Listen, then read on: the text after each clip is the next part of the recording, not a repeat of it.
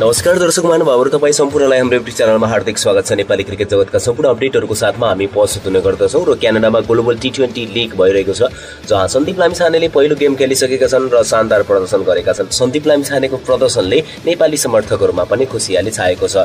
जहाँ जान्छन् सन्दीप लामिछाने जहाँ नेपाली खेलाडीहरू जान्छन् त्यहाँ नेपाली समर्थकहरूले साथ दिइरहेका छन्। त्यस्तै भयो ग्लोबल टी ट्वेन्टी लिग क्यानाडामा पनि सन्दीप लामिछानेलाई समर्थन गर्न धेरैजना नेपाली समर्थकहरू नेपाली क्रिकेट जर्सी लगाएर पनि त्यहाँ प्रवेश प्रवेश गरेका थिए मैदानमा र सपोर्ट गरिरहेका थिए सन्दीप लामिछानेको खेल र सन्दीप लामिछानेको टिमलाई सपोर्ट गरिरहेको पाइन्थ्यो। दर्शक महानुभावहरू ग्लोबल टी ट्वेन्टी लिग क्यानाडाको पहिलो खेलमा सन्दीप लामिछानेको टिम पराजित भएको छ। यद्यपि सन्दीप लामिछानेले भने केही राम्रो प्रदर्शन गर्न सफल भएका छन्। उनले ब्याटिङतर्फ पनि शानदार प्रदर्शन गरेका थिए। सन्दीप लामिछानेको टिम भ्यान्कुभर नाइट्स र टोरेन्टो नेसनल बीच भएको खेलमा सन्दीप लामिछानेको टिमले जम्मा जम्मी एक सय दस रन मात्रै बनाउन सकेको थियो। उन्नाइस दशमलव तिन ओभरमा सबै विकेट गुमाएर एक सय दस रन बनाएको थियो।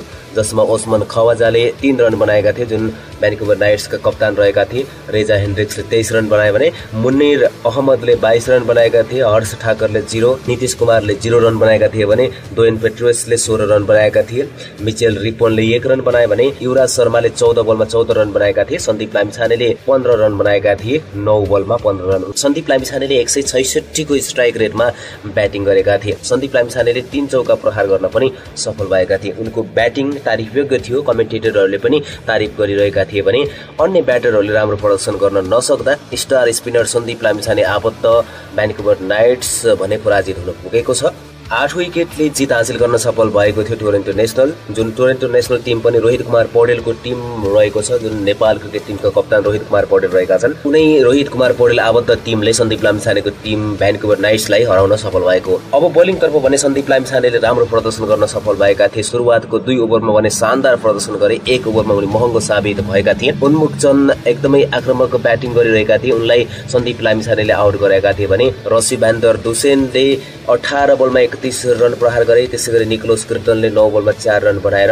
आफ्नो टिमलाई जित दिलाउन सफल भएका चौध दशमलव चार ओभरमा टोरेन्टो नेसनलले आफ्नो गेम सकाएको थियो दर्शक महानुभावहरू उन्नाइस दशमलव तिन ओभरमा भ्यान्कुभर नाइट्सले एक सय दस रन बनाएको थियो भने चौध दशमलव चार ओभरमा एक सय एघार रन बनाएको थियो दुई विकेट गुमाएर टोरेन्टो नेसनलले र आठ विकेटले समग्र रूपमा जित दर्ता गर्न सफल भएको छ। सन्दीप लामिछानेले केही राम्रो बोलिङ गर्न सफल भएका थिए। बोलिङतर्फ सन्दीप लामिछानेले चार ओभरमा उन्तिस रन खर्चेका थिए। उनी तेस्रो ओभरमा निकै नै महँगो साबित भएका थिए। उनले बिस रन खर्चिन पुग्दाखेरि चार ओभरमा उनातिस रन बनाएका थिए। अन्य तीन ओभरमा भने उनले नौ रन मात्रै दिएका थिए सन्दीप लामिछानेले। एक ओभरमा मात्रै उनले बिस रन खर्चिन पुग्दा चाहिँ उन्तिस रन उनले उठाएका थिए। उनलाई तीन छक्का एकै ओभरमा प्रहार गरेका थिए। कलिन मुन्ड्रो र रसी भान्द दुसेनले छक्का प्रहार गरेका थिए। सन्दीप लामिछानेको एउटा अझै विकेट हुन सक्थ्यो।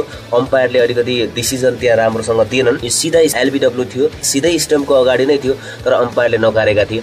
त्यो पनि विकेट नै थियो जहाँसम्म लाग्छ। रिभ्यू हेर्दाखेरि चाहिँ विकेट नै थियो। अब डिआरएस सिस्टम नभएको कारणले गर्दाखेरि त्यो विकेट भएन। अम्पायरले आउट दियो भने मात्रै आउट नत्र भने आउट हुनै सक्दैन। डिआरएस सिस्टम नभएमा यही नै घाटा हुन्छ। त्यो सन्दीप लामी छानेलाई पनि भोग्नु परेको थियो। सन्दीप लामी छानेले त्यो रसुभन्दा दुसेनलाई चाहिँ आउट गरेका थिए एलबिडब्ल्यू आउट नै थियो क्लियरली हेर्दाखेरि चाहिँ तर अम्पायरले चाहिँ दिएका थिएनन् दर्शक महानुभाव नत्र भने सन्दीप लामी छानेले अझै एट्याकिङ गर्न सक्थे त्यहाँ विकेट आउँथ्यो भने चाहिँ यति धेरै रन पनि उनले दिँदैन थियो होला सायद। जहाँसम्म लाग्छ नेपाली क्रिकेट टिमका स्टार स्पिनर सन्दीप लामिछानेले बलिङमा राम्रो प्रदर्शन गरेका थिए। एकदमै अट्याकिङ बलिङ गरेका थिए चार ओभरमा उन्तिस रन दिएर एक विकेट उनले हात पारेका थिए। आक्रामक ब्याटर उन्मुख चनको विकेट उनले लिन सफल भएका थिए भने ब्याटिङतर्फ पनि उनले पन्ध्र रन बनाउन सफल भएका छन्। दर्शक महानुभावहरू समग्र रूपमा सन्दीप लामिछानेको प्रदर्शन ठिकठाक नै रहेको छ। पहिलो गेममा नै सन्दीप लामिछानेको टिम पनि पराजित भएको छ। र अबको दिनहरूमा चाहिँ उत्कृष्ट प्रदर्शन गर्न सकुन् र सन्दीप लामिछानेको यस्तै खालको प्रदर्शन रहोस्। धेरै धेरै शुभकामना पनि दिनुहोला दर्शक तपाईँले पनि शुभकामना दिँदै गर्नुहोला। Best of luck Sandeep Lamichhane भनेर पनि लेख्न नबिर्सिनुहोला। र च्यानललाई सब्सक्राइब गर्नुभएको छैन भने एक सब्सक्राइब गरिदिनु होला भिडियोलाई एक लाइक गर्न पनि नबिर्सिनु होला अहिलेलाई भने छुट्छौँ। अर्को भिडियोमा हाम्रो भेट हुने नै छ। जय नेपाल जय नेपाली क्रिकेट